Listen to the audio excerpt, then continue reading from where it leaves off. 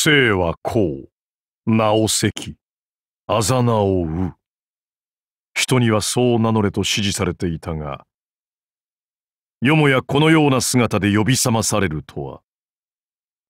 汝とは、果たしていかなる絵にしにて結びついたのだろうか。騒乱の兆しを検知した。主導者よ。これは汝が収集しなければならない。英霊。よもや私という装置に、このようなあり方が成立しうるとは、いかなる演算をもってしても想定し得なかった。私は為政者のための装置だが、汝は天下人ではなく、そして私をただの道具と割り切る視座も持ち合わせぬ様子。うん。サーバントというあり方は、ことのほか複雑で難解だ。好ましきものについて語るなら、それはきっと私が必要とされなくなる日が訪れることだろう。すべての任務を終えて眠りにつくことが、もし好みに許されるならば。忌むべきもの。砂上の楼閣、偽りの安寧。未来に災いの種を残したままのかりそめの平和。それは断じて許容できない。速やかに粉砕する。聖杯。その概念には予測不可能な要素が多すぎる。いたずらに用いるべき手段ではないと思われる。降雨。確かに私はかつてそう命名され起動した。その故障に問題はない。むしろ驚くべきはこの躯体だが。異なる歴史の流れの中で設計者のもとで正しく運用された私というのは少なからず興味深い。詳しく教えてほしいものだ。バーサーカーのクラスをあてがわれたのは不可解だ。私はただ論理的、かつ効率的にことに当たるよう努めているだけなのだが。カルデアは、あまたの英霊の運命が錯綜し、我が演算をもってしても正確なる未来の予見は難しい。ここに来て初めて私は驚きという概念を知った。実に興味深い。もはや多くは語らぬ。未来を担いし者よ。その志を遂げるためにこそ、我が機能のすべてを発揮しよう。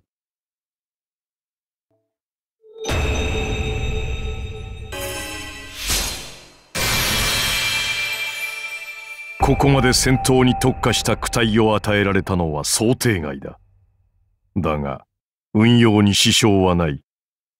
より迅速な任務遂行が可能になった。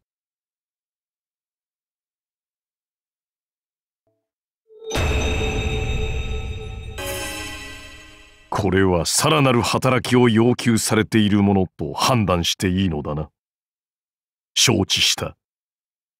我が機能のすべてを動員し、ことに当たるものとする。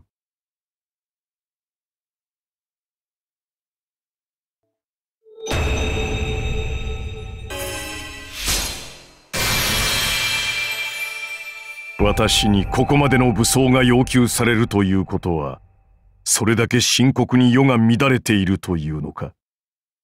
由々しき事態だ。早急に収集せねば。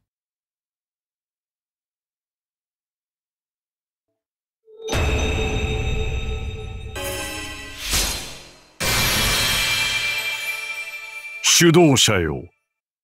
私にここまでの力を託したその判断、誤りではなかったことを証明しよう。さあ、共に太平の世を築かん。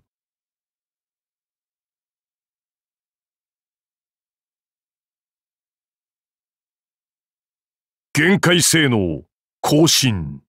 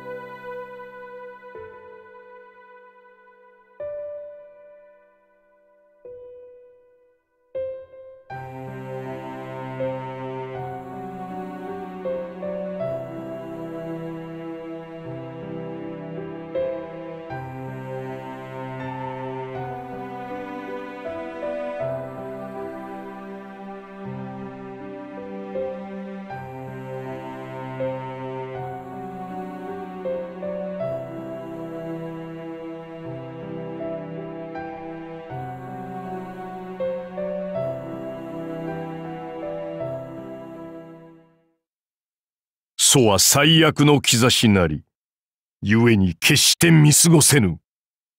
滅ぶべくして滅ぶべし。しかり、その通りだ。見えた。承知。ふん。では決着としよう。